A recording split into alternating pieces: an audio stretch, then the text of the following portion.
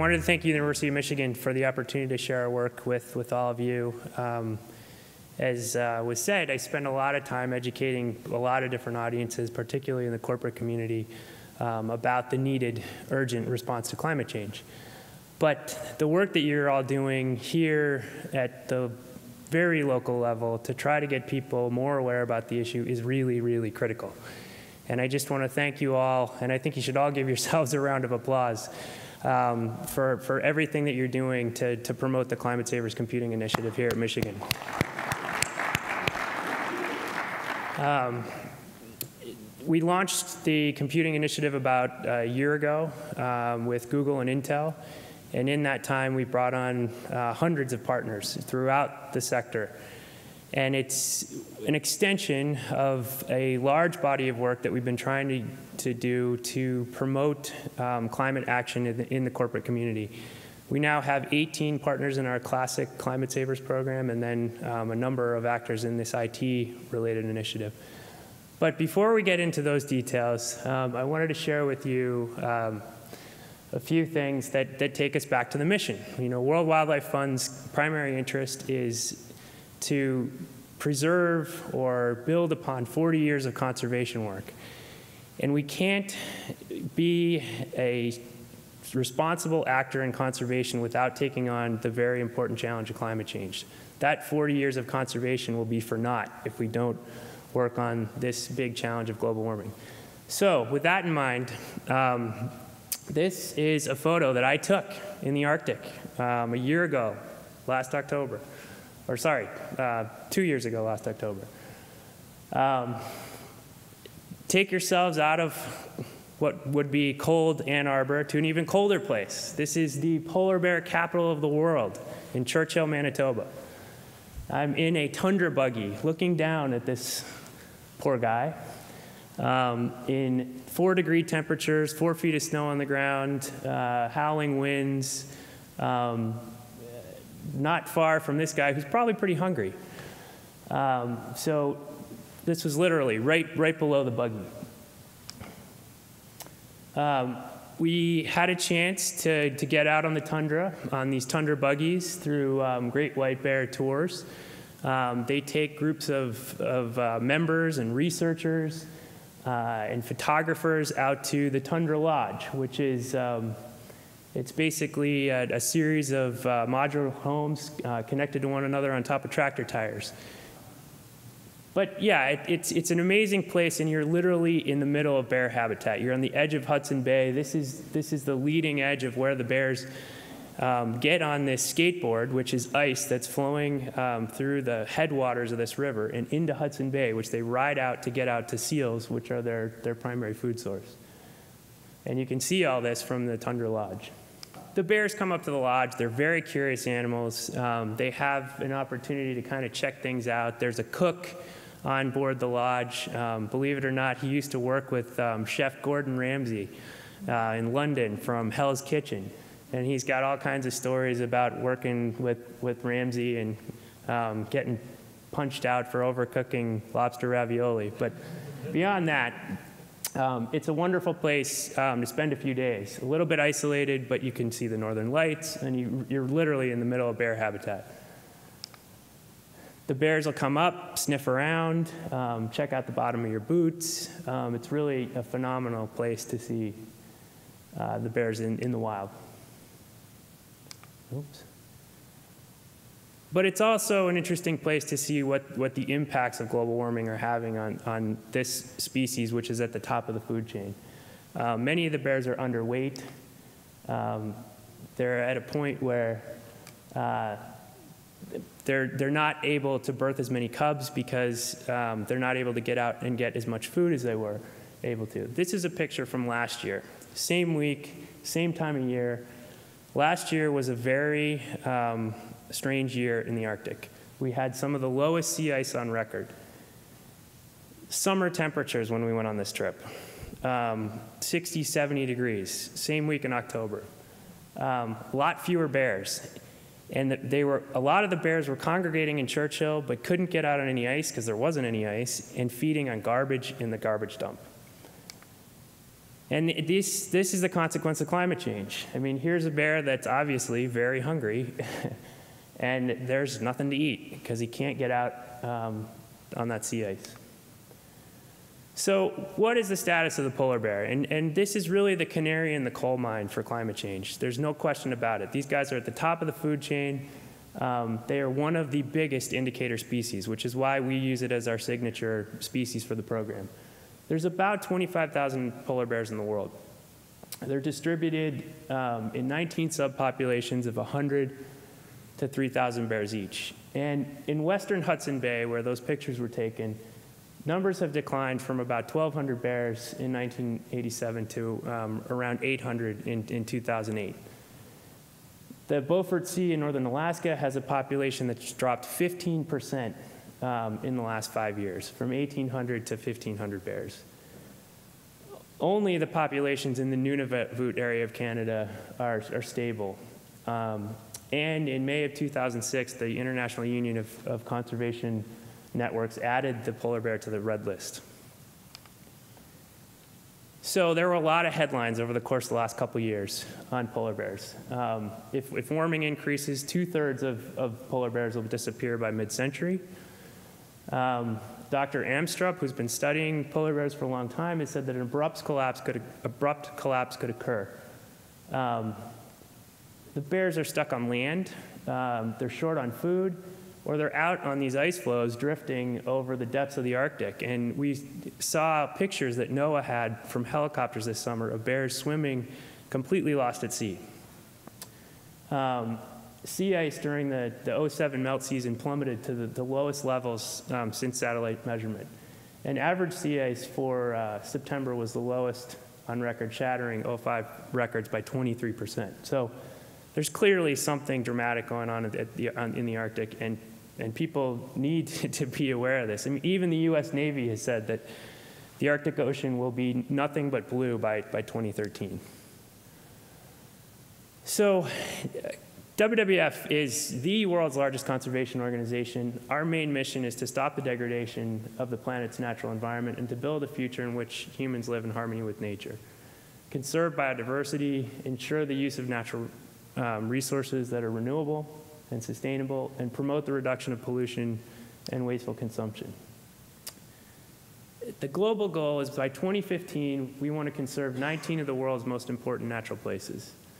Um, we're going to achieve this by focusing on solutions that are global in scope uh, and scale, and use our trusted brand, which is very well recognized, to emotionally connect with people, um, and that in a, in a credible way in the marketplace.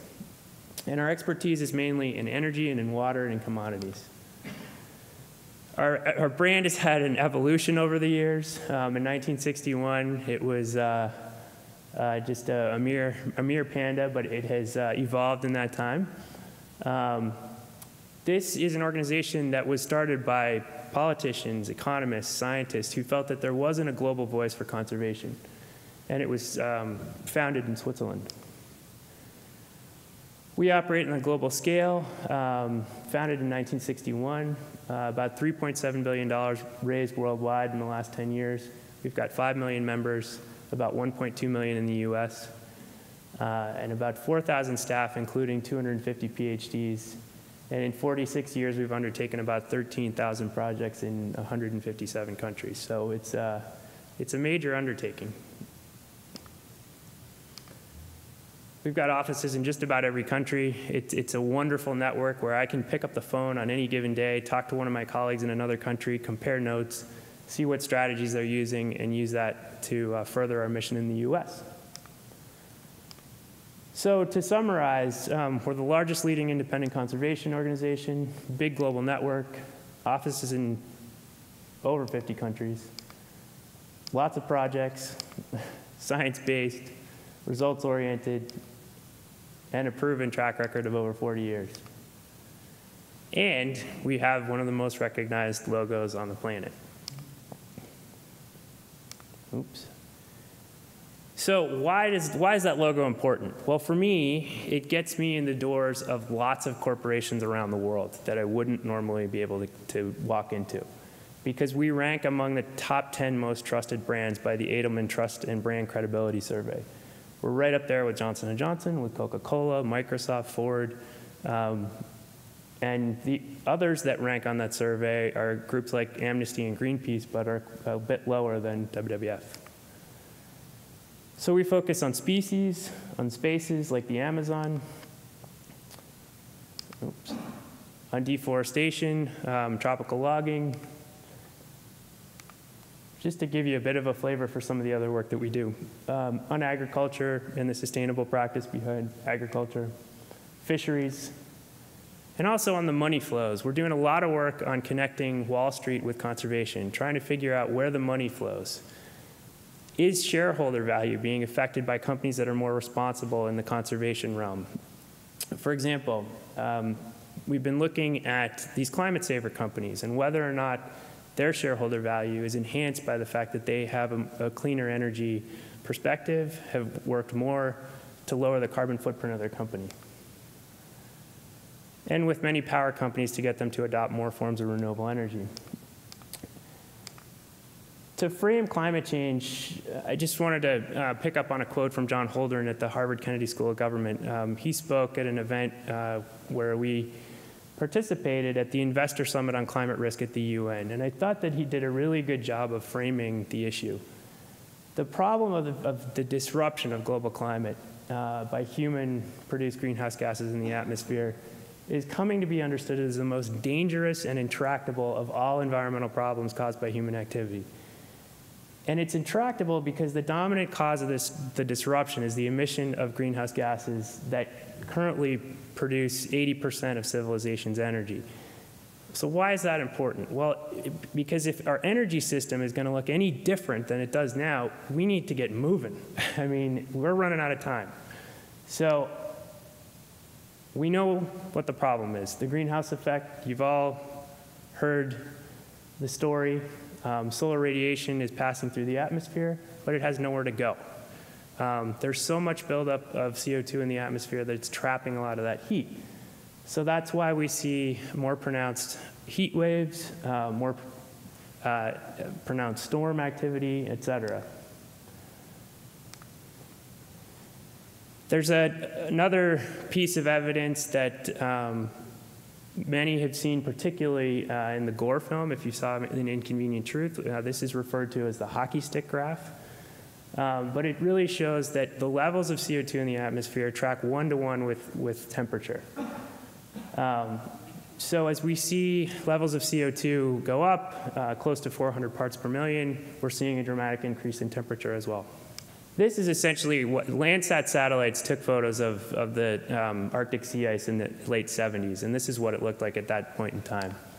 Um, that is what it looked like in 2003. So there's no question that we're seeing a dramatic decline in the massive sea ice in the Arctic North.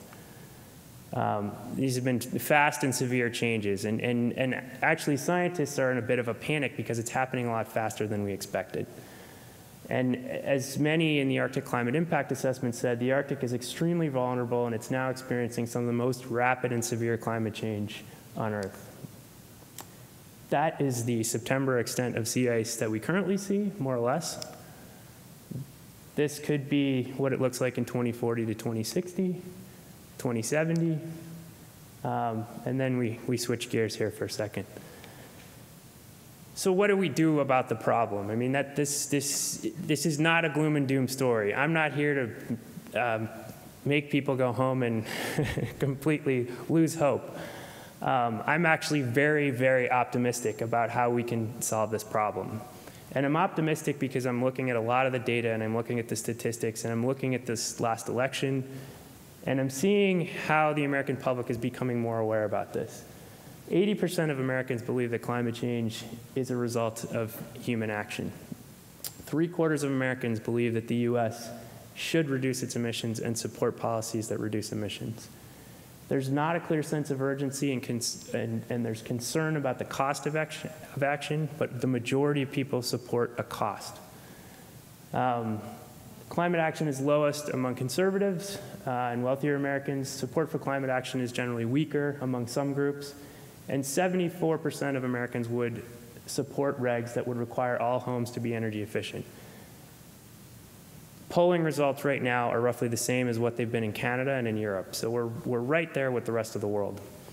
So you're going to see a lot more of this from the new administration. And why is that? Well, the US is key. Per capita, we use almost twice as much energy as any other part of the world.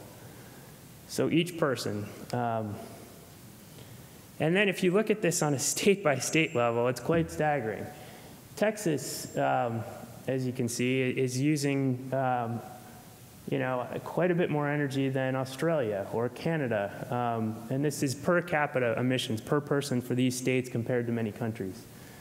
Um, almost three times as much as the average German citizen. And probably four to five times as much as the, as, as the average Mexican. so it's really dramatic, the, the extent to which people need to change behavior in the US. what I do is try to mobilize the business community to take action on this issue. And so business has a very special relationship with, with climate change, much more so than governments and a lot of other institutions. Businesses control the stocks, the flows, uh, the feedback loops that determine the emissions of greenhouse gases in the atmosphere. And different businesses are affected and can affect climate change in different ways they need assistance in figuring out how to best operate in this environment of total uncertainty. This is a new issue to them and they really need help. So we come with a toolbox of different tools to help them out. And there's a lot of specific ways we can help. So they're looking at data too.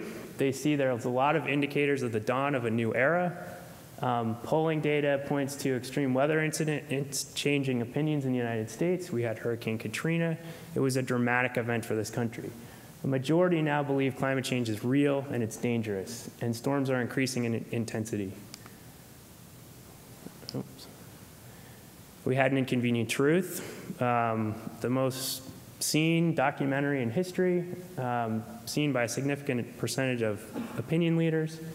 Um, it brought the scientific ev evidence to, into clear view for people. Seeing was believing. Uh, the extent and speed of, of, of warming uh, had a lasting impression on people. And then there was the Stern Review. For all you economists in the room, you're probably grinning with glee, but the Stern Review really brought this into a place where economists could make sense of it all. It said that the study, um, or the study concluded that inaction could result in a significant economic slowdown. Um, act fast or pay the costs, and they're high costs. Stabilizing CO2 is going to cost 1% of world economic product if we do it now. If we don't act, it's going to require 5 to 20% of world economic product over the next few years. And more and more economic capacity is going to be spent cleaning up after the mess uh, or helping people find food. And then we had, and these are all sort of different things that have happened over the course of the last 18 months that have helped um, drive the problem uh, into people's circle of awareness. The Princeton Mitigation Institute has divided this problem into seven wedges of technology that we could deploy to get to carbon free by 2050. So these are all kinds of things that we have right now that we could use to completely zero our carbon emissions everything from energy efficiency to wind to solar to geothermal, uh, hydro, and nuclear. It says that we need seven tons of gigaton, uh, seven gigatons of carbon reductions every year for the next 50 years. Um, how much is a gigaton? Well, it's basically like doubling the fuel efficiency of 2 billion cars. Um, and if we deployed those seven wedges of technology, we'd basically stabilize emissions in the atmosphere. So when we work with companies, we kind of take them through a hierarchy of the three R's of corporate climate responsibility. And the first one is risk. Is your business threatened um, by climate change at a fundamental level? Are your, are your facilities going to be affected by sea level rise? You know, that, that's an easy thing to identify early. So they basically do a long-term and a short-term risk profile. Um, and investors increasingly want to see this kind of risk analysis because the, the vulnerability to climate impacts are, are here. The next phase is a reward. So GE launched their Ecomagination program. British Petroleum has their Beyond Petroleum program. They saw an enormous business opportunity. They saw that climate change was coming and they realized that there was a tremendous change in the way that they could think about energy, materials, transport, and communications. So they're getting a significant return on investment by focusing their marketing on the kind of contribution that they could make to a climate friendly world. And then there's this next level of hierarchy, which is responsibility. So companies need to take greater and greater responsibility for the issue for, because it's an ethical imperative. The companies that are taking more responsibility are going to be seen as part of the transformation, and the companies that don't are going to be the outliers. And it's dawning on the world that real, that there's really um, great power in making a difference on this issue. So companies join Climate Savers, they sign the Bali Communique, they're listed in the Climate Count Survey. There's all kinds of things that they can do um, now that there's these new ethical demands on companies. So yes, business is the key to solving the problem. Um, climate change is caused by most of the processes that business are, are involved in. Uh, they have a stark choice. They take a responsibility now, they make a transformation to a low carbon economy, or they take responsibility later and face the consequences. And there are going to be significant consequences with that. So a little bit of food for thought. Addressing climate change is a big investment for companies. Uh, the more companies engage, the greater return on their investment. Climate Savers helps companies invest uh, by reducing climate change risks, finding climate change related rewards, and asserting that climate change, that companies can take responsibility.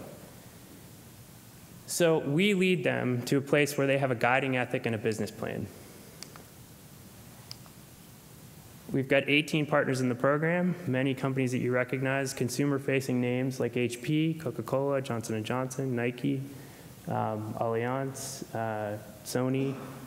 So these are the classic companies that have set really groundbreaking goals to reduce their carbon emissions. Catalyst Paper has set a 70% reduction target against a 2000 baseline. So it's a dramatic reduction in greenhouse gas emissions, basically phasing out fossil fuel and using some of the waste wood in their process to feed their uh, pulp and paper plants. So we've had a lot of allies along the way. Senator Kerry was a big supporter.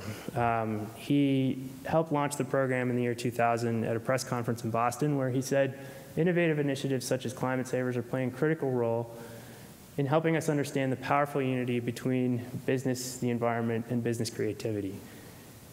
And it's been helpful to have leaders like that uh, support us along the way. We've kind of been on a mission to cut CO2 since 1999.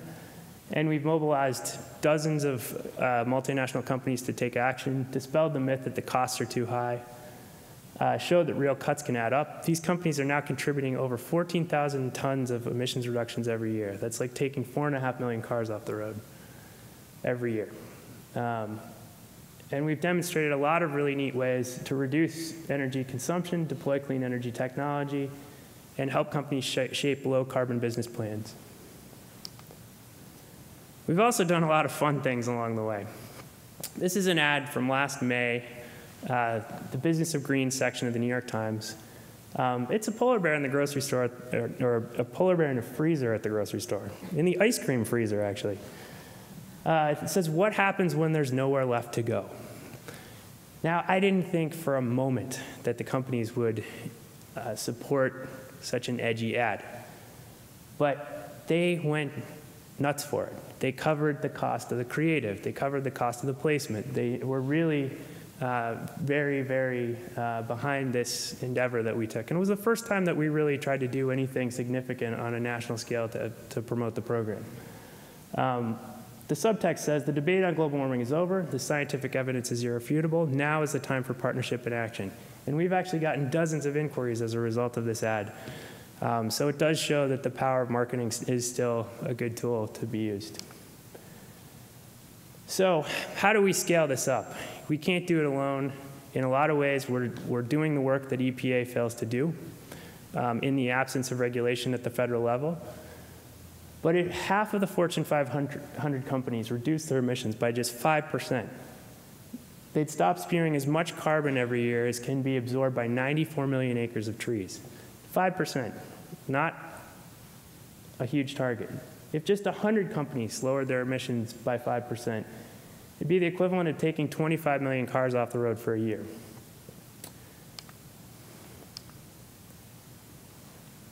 I'm going to shift over a little bit and focus on the computing initiative because that's something that uh, Michigan has uh, embraced wholeheartedly. And we, uh, again, thank you for the, the support.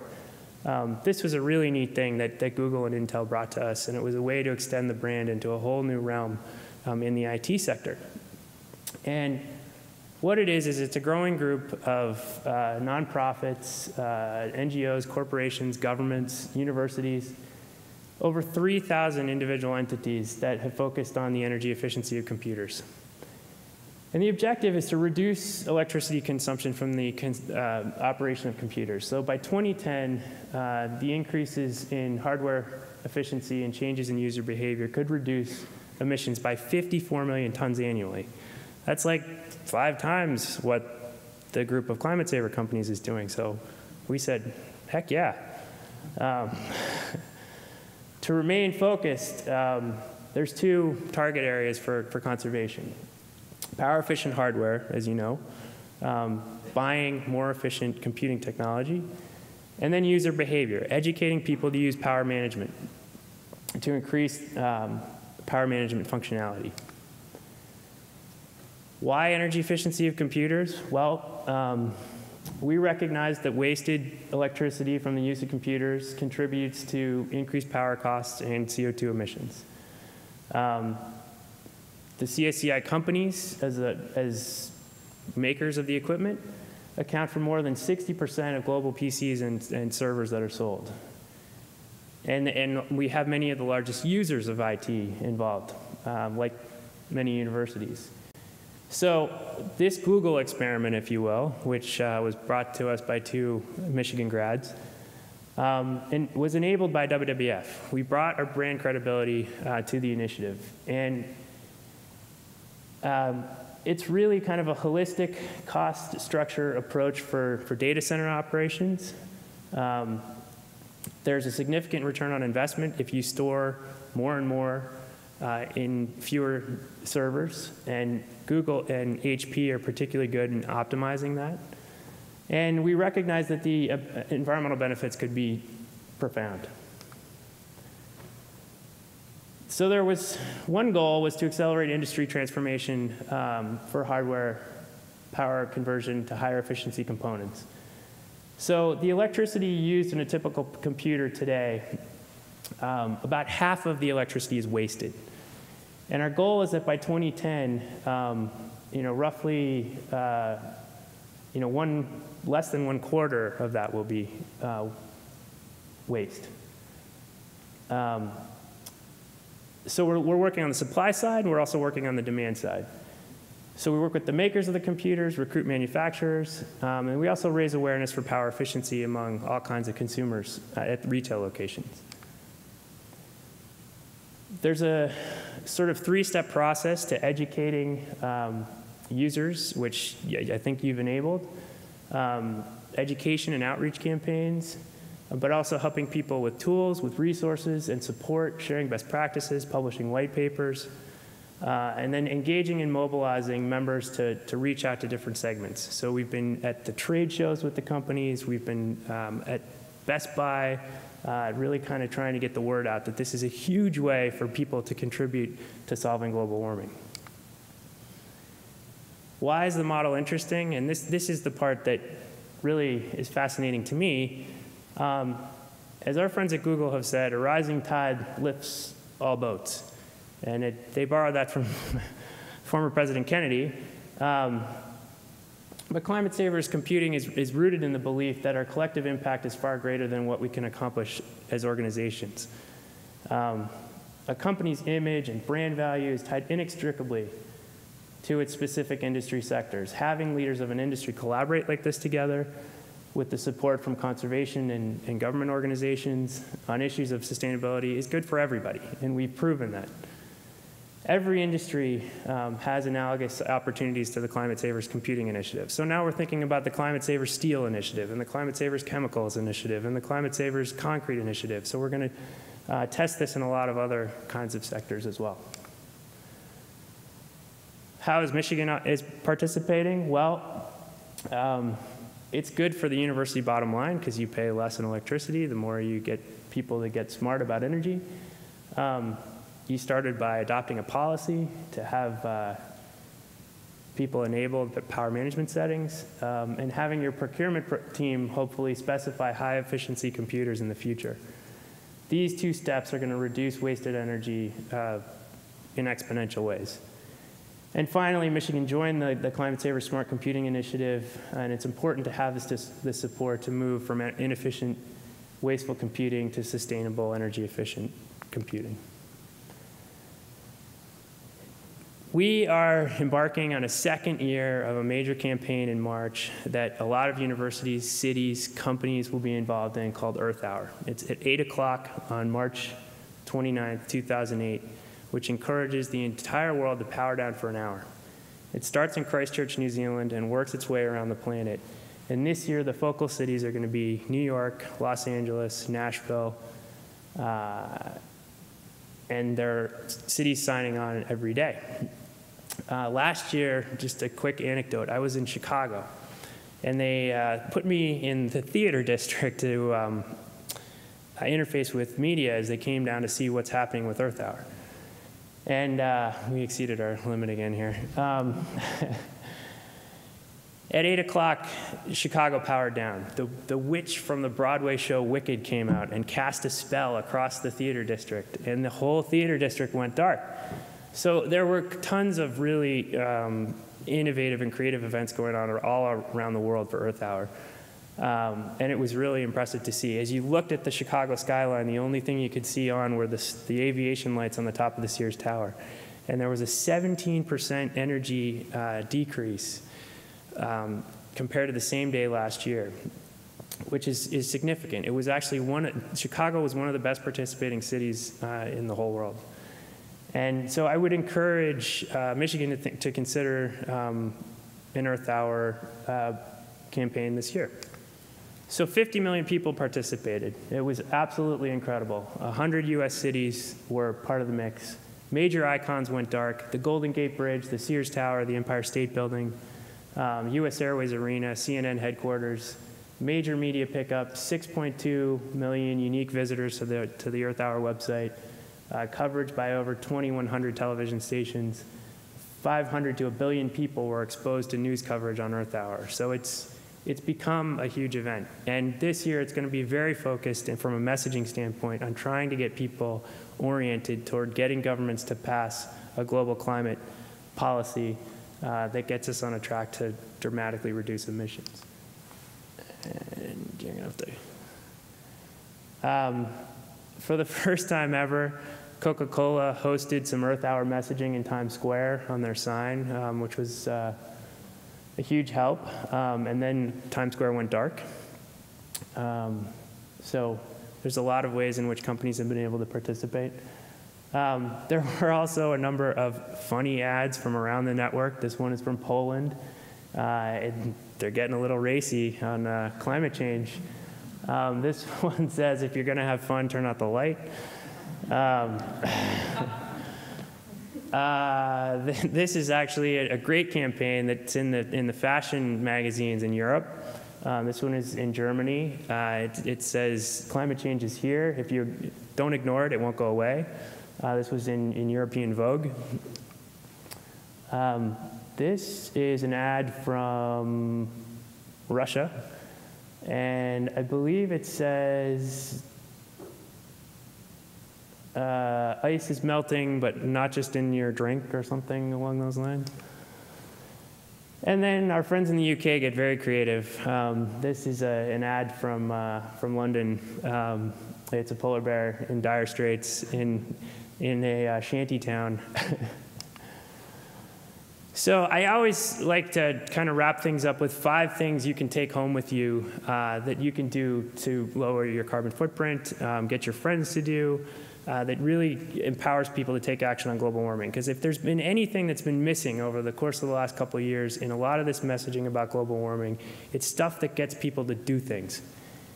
And there's really five quick and easy things that you can do to lower your, your, your impact or, be, or live a more climate friendly lifestyle. And I would say first and foremost is support clean energy. Um, wind and solar is here. It's affordable. Um, there's sometimes a price premium, but there's always a green pricing program at your local utility. So ask your utility about their green power program. Drive a smart vehicle or don't drive. Walk, bike, take mass transit. Um, I think we're seeing a shift to that because of the, the rising energy prices. Um, but there's a lot better choices out there in terms of fuel efficient vehicles. You know that. Um, and that's one of the areas in which emissions growth has really expanded in the United States over the, the last 10 years. Conserve electricity, uh, improve the energy efficiency of your home. There's all kinds of things that, that you can get at Home Depot these days. Uh, compact fluorescent lights, uh, energy efficient windows, energy efficient Energy Star appliances. Um, really good technology that's come a long way. Uh, in California and Australia, they're probably going to phase out the incandescent light, uh, which, which makes sense. These new light bulbs are 10 times more efficient, and we're going to see another generation of lighting come out this year, which are LEDs. Support campaigns. Um, educate others, write to leaders, urge them to support higher fuel efficiency standards, uh, clean energy, mandatory caps on greenhouse gas emissions.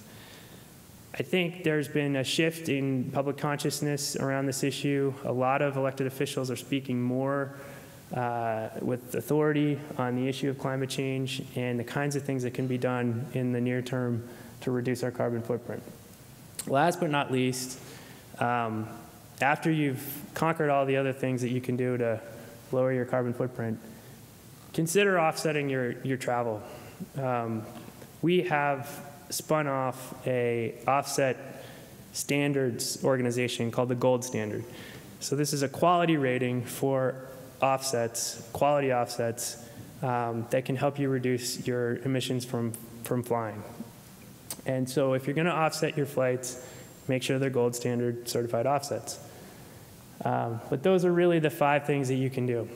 And if you run into a skeptic and you really need a soundbite that's going to blow them away, remind them that atmospheric CO2 is higher than any time in the last 650,000 years.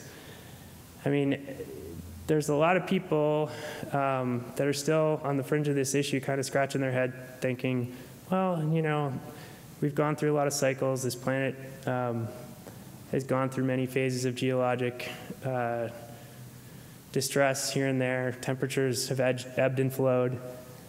Um, but the science says, again, there's never been so much carbon in the atmosphere uh, in the last 650,000 years. So I'm going to wrap it up there. I was really hoping to open this up as a conversation um, so that we could take a, a some Q&A uh, to kind of discuss some of these issues a little bit further. Uh, and just want to thank everybody for their time. And uh, I encourage you to, to join WWF um, and support the climate change program. Thank you very much.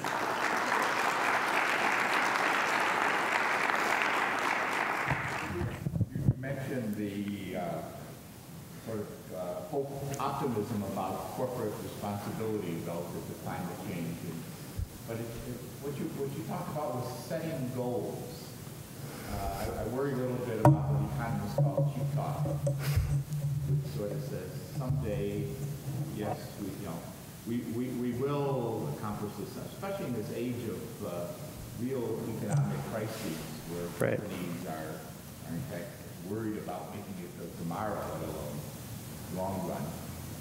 Is there good evidence that companies are really doing things besides setting goals, some of the companies you mentioned?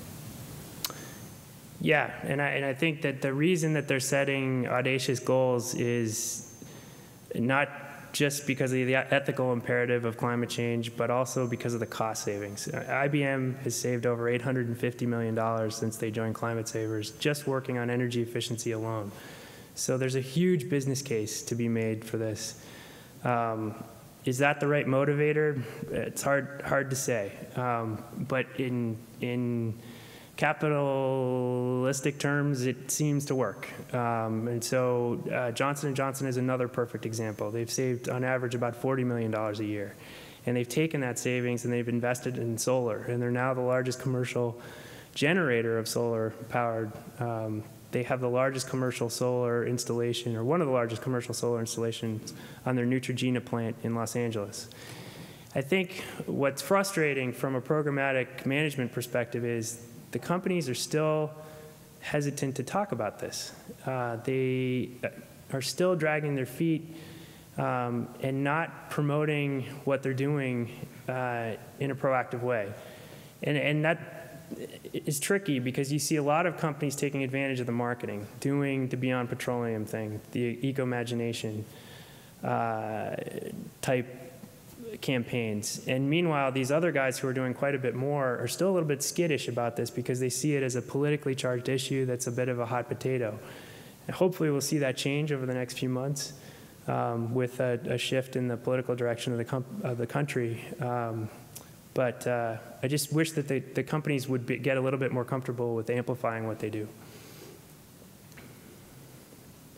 Uh, Matt, one of the issues that comes up when we when we're doing stuff is it seems like every company, particularly in the IT space, does sort of have sort of a green position. Right. And it's hard to tell who's being real and who's just sort of marketing it. And I was wondering if you could just comment, uh, you know, how you know WWF might help us, or just how we might sort of navigate, make sure we're actually using the vendors that are the right ones to use. Sure. Well, in the IT space, I think um, you know the best thing to do is to go to the Climate Savers Computing Initiative website, where there's a catalog where you can look at um, how many uh, units each company has deployed in terms of energy efficient uh, computing technology. Um, we do a lot of due diligence around these companies whenever we form a partnership. So we're grinding through their annual reports. We're looking at their their um, uh, 10K filings, all kinds of things to see what their environmental liabilities are.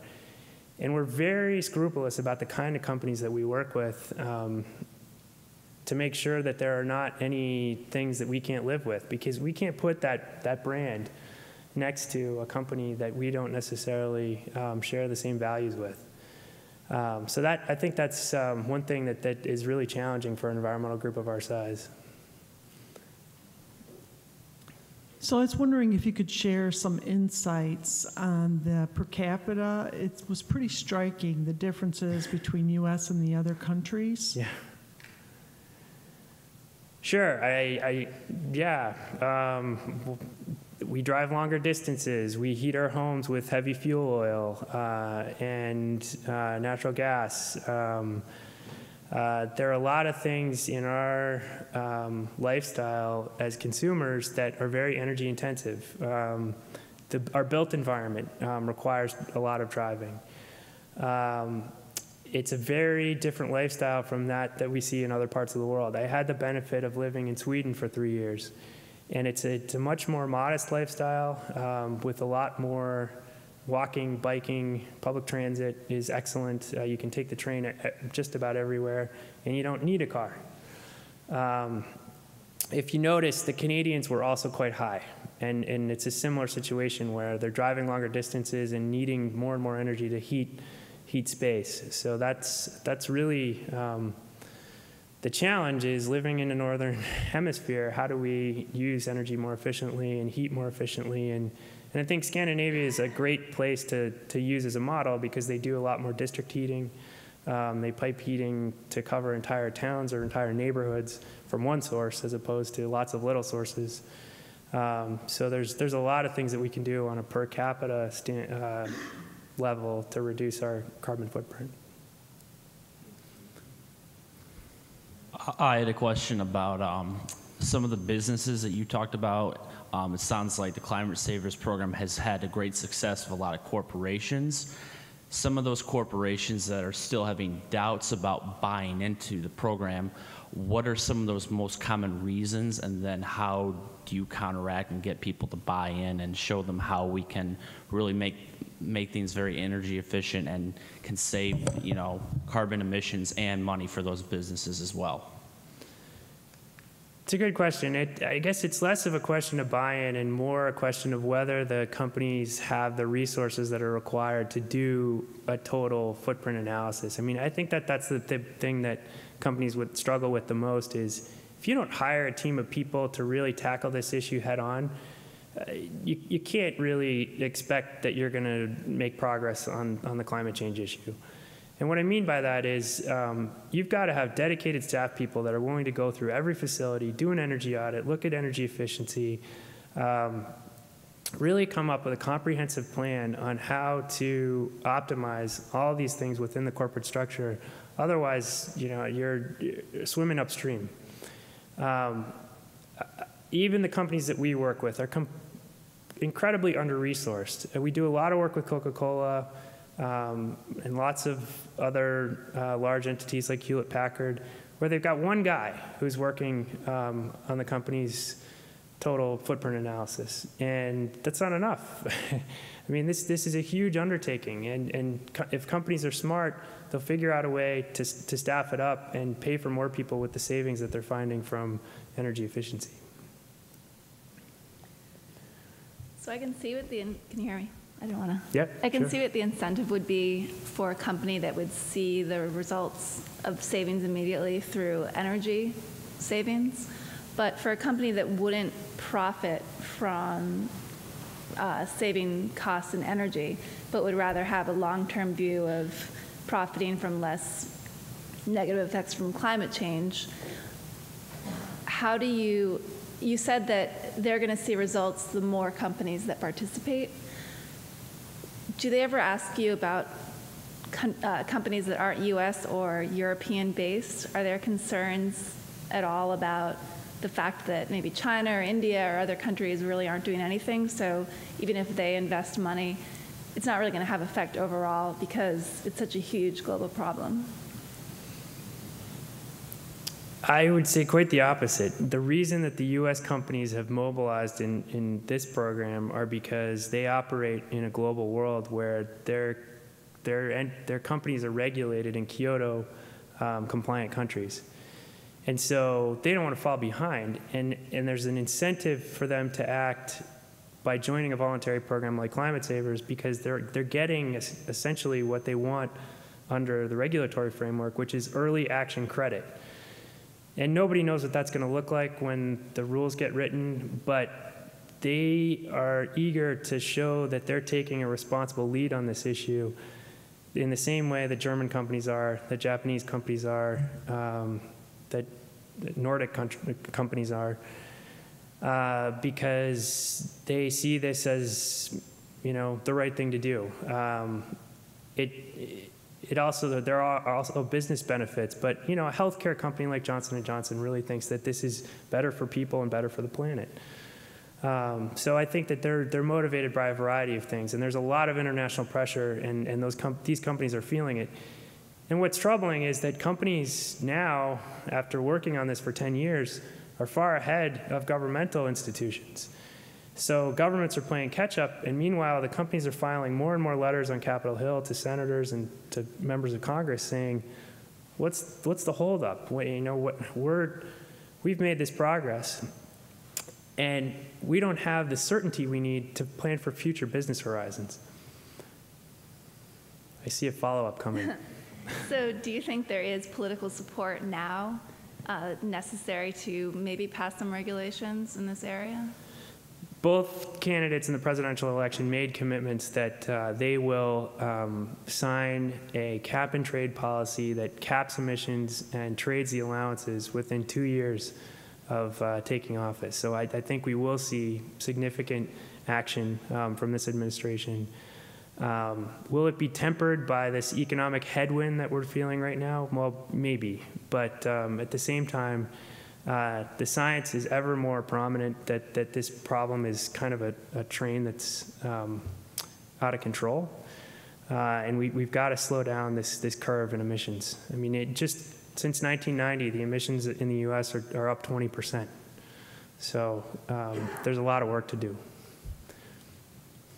Kind of building off her question, um, with the new administration now coming in uh, next year, Can you expand upon what other areas um, the Obama administration, if, I mean, talks might still be early on, but what Right. you think will be improved, though, in the next four years compared to what has been done in the past? Well, so far they've talked about um, an infusion of uh, incentives and um, uh, programs for clean energy um, to uh, expand the use of renewable power sources, and I think that that's that's right on. There are some incentives that are already in place that the Congress passed in the last energy bill, which have been helpful. The wind energy production tax credit, but that's that's not enough. Um, uh, Senator and now President-elect Obama has talked about um, a large incentive package. Um, There'll also be incentives for energy efficiency and for the um, energy efficiency of homes and buildings. Um, Buildings are a major part of our uh, carbon footprint as a, as a nation, and there's a lot of things that can be done there. And there've been some really good things that the U.S. Green Building Council has been doing to create standards, to create a hierarchy of gold, platinum, bronze ratings for buildings. Um, but that needs to be adopted by the EPA. I mean, there's, there's just a lot of things that the EPA could have been doing over the last eight years um, that it has just been incredibly neglectful of this problem. But yes, I think there's going to be a suite of different things that, uh, that this administration does. And uh, you know, we, uh, we created a, WWF created a green print for the kinds of things that uh, the administration um, should adopt, and you can find that on our website at um, wwfus.org. Yes, I think we're all very excited about the transitions that we hope are occurring. And thank you for, for guiding us Sure. through those, Matt. Yeah.